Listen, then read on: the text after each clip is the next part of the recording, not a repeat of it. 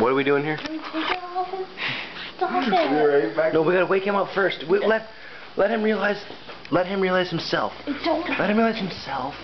You can wake him up any way you want. him that much freedom. Let him wake wake him up. Somebody wake him up now. No, Any way you want, but don't take the chips off. Let him let him take the chips on himself.